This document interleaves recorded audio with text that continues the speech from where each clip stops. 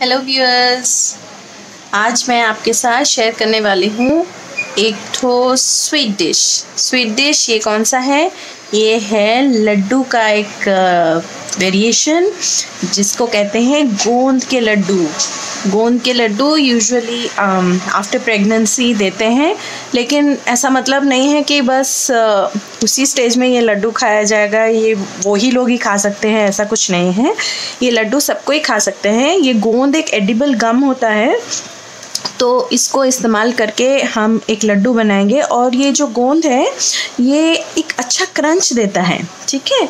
मैं आपको स्क्रीन पे दिखा देती हूँ। मैंने अराउंड हंड्रेड ग्राम्स ऑफ़ गोंद लिया है और इसको मैं फ्राई कर लूँगी।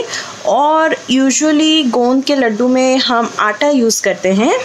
तो मैं जो गोंद का लड्डू बनाने वाली हूँ, it is a mixture of multi grains it is a mixture of multi grains as well as मैं थोड़ा सा आटा भी इसमें इस्तेमाल करूँगी। तो चलिए धीरे धीरे मैं आगे आगे बताती जाऊँगी कि मैं किसको कितना क्वांटिटी में ले रही हूँ और हम क्या क्या कर रहे हैं। चलिए देखते हैं। तो सबसे पहले आप देख सकते हैं स्क्रीन में आ, मेरा जो कढ़ाई मैंने चढ़ाया है उसमें मैंने एक टीस्पून जितना घी लिया है देसी घी और वो अभी गर्म हो गई है तो मैं उसमें बैच बाय बैच अपने गोंद को फ्राई कर लेती हूँ। जैसे हम फ्राइम्स फ्राई करते हैं ना, उसी तरह से जैसे ही हम गोंद को घी में डालेंगे तो वो फ्राइम्स की तरह ऐसे हल्का होने लगेगा और फ्लफ़ी हो जाएगा। उस स्टेज पे हमें उसको निकाल देना है। तो मैं आपको दिखाऊँगी धीरे धीरे स्क्रीन पे कि मैं कैसे क्या कर रही हूँ।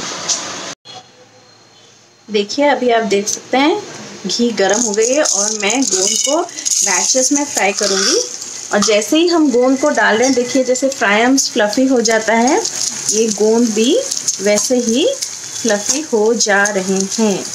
तो जैसे ही सारा ही गोंद फ्लफ़ी हो जाए तो हम इसको निकाल लेंगे और जब पूरा सारा बैच फ्राई हो जाएगा और ये थोड़ा सा कूल हो जाएगा, फिर हम इसको चाहे आप हाथ से हो या फिर मोटर पेसल से आप इसको क्रश कर दें। पर मिक्सर ग्राइंडर यूज़ ना करें, क्योंकि फिर ये पूरा एक पाउडर बन जाता है अच्छा नहीं लगता है। वो थोड़ा सा क्रंच लड्डू में मालूम चलना चाहिए, इसलिए आइधर आप मोटर पेसल यूज़ करके उसको थोड़ा कोर्सली क्रश कर लीजिए, या फिर आप हैंड्स के मदद से भी इसको कोर्सली क्रश कर सकते हैं। तो इसको अभी निकालने के बाद मैं अपना ये लास्ट वाला जो बैच है, उसको भी मैं डाल दूँगी।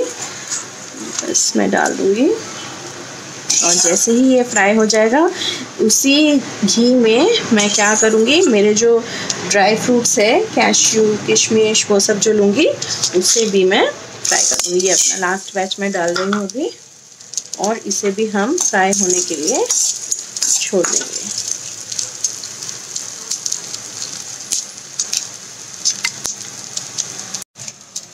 तो हमारा ये सारा गोंद का बैच जो है फ्राई हो गया। और इसको अभी मैं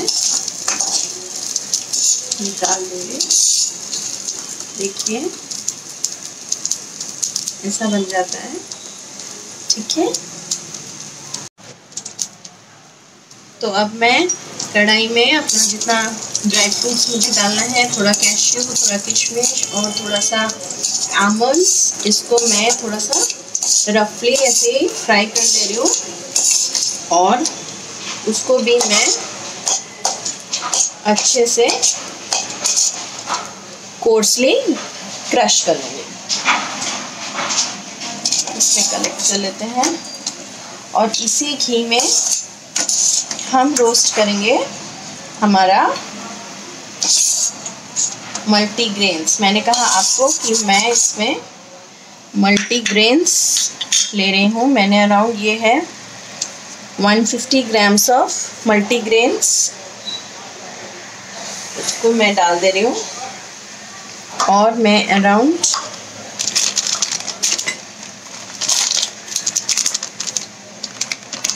fifty grams, hundred grams hundred grams of atta ले रही हूँ। हंड्रेड ग्राम्स आटा और 150 ग्राम्स ऑफ़ मल्टीग्रेन्स आटा। ये मल्टीग्रेन्स आटा नहीं है एक्चुअली ये कह सकते हैं इसमें ये एक मल्टीग्रेन मिक्सचर है। इसमें um, क्या है मैं आपको बता सकती हूँ। इसमें है रागी बाजरा और इसमें कॉर्न है और इसमें जवार है बार्ली है वीट है रेड राइस है। ग्रीन ग्राम है फ्राइड ग्राम है और इसमें आमंड्स, कैश्यू और ग्राउंडनट सब कुछ डाल के ये एक मिक्स है। इसको मैंने इस्तेमाल किया है गोंद के लड्डू बनाने के लिए और मैंने लिया है इसमें हंड्रेड ग्राम्स ऑफ़ नॉर्मल हमारा जो हम रोटी बनाने के लिए आटा यूज़ करते हैं, चक्की का आटा, वो लिया है। और इसमें मैं एक टीस्पून तो डाली थी। और एक टीस्पून घी डाल रही हूँ और हम इसको अच्छे से रोस्ट कर लेंगे। तो देखिए, जब तक हमारा ये मिक्सचर ऑफ़ फ्लावर्स फ्राई हो रहा है, बिल्कुल जल्दबाजी मत करिएगा। फ्लावर अगर कच्चा रह गया, फिर हमारा लड्डू पूरा बर्बाद हो जाएगा। इसको तब तक भूनना है जब तक एक अच्छा एरोमा आएगा तो आपको मालूम चल जाएगा कि हमारा फ्लावर कच्चा नहीं है। चखने का गलती गर्म गर्म में चख लिया, देख लिया, बना है कि नहीं, ऐसा गलती बिल्कुल भी मत करिएगा। तो चलिए, जब तक ये स्लो में भून रहा है बीच बीच में चलाती रहूँगी उसको। तब तक हम ये जो गोंद हमारा फ्राई करके रखे हैं, इसको हम बैच बाय बैच थोड़ा सा कोर्सली क्रश कर लेते हैं। मैंने वो ड्राई फ्रूट्स जो फ्राई किए थे, उसको कोर्सली क्रश कर लिया है। अभी इसको भी मैं कोर्सली क्रश करके रख दूँगी। देखिए, मैं एक छोटा सा मोटर पेसल यूज़ कर रही हूँ। ये छोटे से मोटर पेसल में मैं बैच बाय बैच इसको क्रश करके रख दूँगी। ऐसे मैं कलेक्ट करती जाऊँगी। जैसे ही हमारा ये फ्लावर का मिक्सचर फ्राई हो जाएगा, हम उसमें वन बाय वन गोंद ड्राई फ्रूट्स ये सब डालते रहेंगे। और मिठास के लिए आप चीनी भी यूज़ कर सकते हैं, आप जैगरी भी यूज़ कर सकते हैं। मैं इसमें जैगरी यूज़ कर रही हूँ। अपने स्वीटनेस के हिसाब से देखिए, अभी आप स्क्रीन पे देख सकते हैं कि हमारा ऑलमोस्ट ये तैयार है और मैंने इसमें six tablespoon of ghee डाला है। और अभी अच्छी एरोमा भी आ रही है और ये ऐसे घी भी छोड़ रहा है तो इससे हमको मालूम चल जाता है कि हमारा फ्लावर का मिक्स तैयार है। अब इस टाइम पे मैं एक छोटा पिंच जितना सॉल्ट इसमें डाल दूँगी। हर मीठे चीज़ में थोड़ा नमक डालना बहुत ज़रूरी है उससे हमारा मीठे का स्वाद और भी बढ़ जाता है। नहीं तो फिर वो एक फीका फीका एक बैलेंस नहीं रहता। थोड़ा सा नमक डालना तो बनता ही है। बस हो गया। अब इस स्टेज पर मैं स्विच ऑफ़ कर रही हूँ और मैं डाल दूँगी इसमें हमारा क्रश किया हुआ गोंद ड्राई फ्रूट्स क्रश किया हुआ ड्राई फ्रूट्स और मैं डाल दूँगी इसमें जैगरी।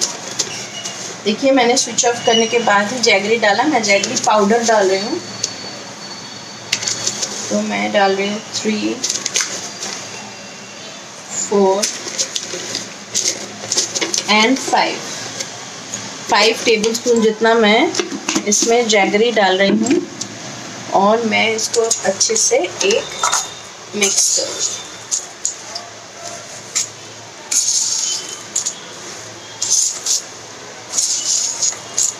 क्योंकि मेरा ये जैगरी पाउडर है, इसीलिए मैंने इसे इस लास्ट स्टेज पर डाला। ये गर्म देखिए, इसको मैंने अभी बोल में ट्रांसफ़र कर दिया है और अभी मैं वन बाय वन इसका जल्दी जल्दी लड्डू बना दूँगी। इसको ऐसे ग्रीस कर दीजिए घी से और फिर हम इसका बनाएँगे लड्डू।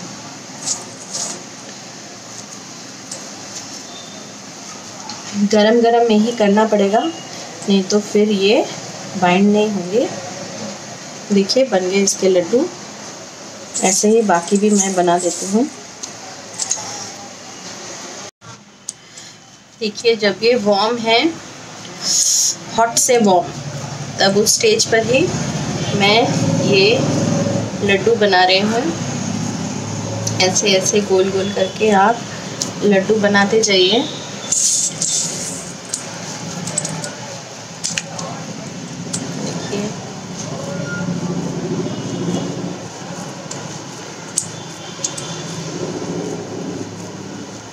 ठंडा हो जाएगा तो फिर अच्छे अच्छे लड्डू नहीं बन पाएँगे। हैंडफुल ऑफ़ मिक्स पकड़िए और उसको अच्छे से बाइंड करते जाइए ऐसे ही। जब तक कि आपको एक अच्छा लड्डू का शेप ना मिल जाए। तो बस ये मेरा आखिरी लड्डू है। बन गए सारे लड्डू गोंद के लड्डू। ये बहुत हेल्दी है। इसमें शुगर भी नहीं है। हमने शुगर के जगह पे इसमें जैगरी सब्सटीट्यूट किया है। और इसमें मल्टी ग्रेन्स का एक मिक्स है। आटा है ड्राई फ्रूट्स है, घी है। ये सब हेल्थ के लिए बहुत बेनिफिशियल है। और, लेकिन इनका तासीर थोड़ा हॉट है। इसीलिए बहुत ज़्यादा पोर्शंस में इनको ना खाएँ और बचा के रखें इनको। विंटर्स में खाने के लिए विंटर्स में ये वाले लड्डू ज़रूर खाएँ। मैं थोड़ा अच्छा शेप ले आ रही हूँ, जो बाकी लड्डू मैंने बनाए थे। मैं थोड़ा अच्छा शेप ले आती हूँ। बस बन गए हमारे सारे लड्डू। आप स्क्रीन पे देख सकते हैं। हमारे सारे लड्डू, गोंद के लड्डू, जिसमें मल्टी ग्रेन का मिक्स है और आटा है ड्राई फ्रूट्स घी, बहुत कुछ अच्छे इंग्रेडिएंट्स है इसमें और बहुत ही अच्छा स्वीट है। इसको ज़रूर विंटर्स में एक बार तो ज़रूर बनाइए और ज़रूर खाइए। Thank you so much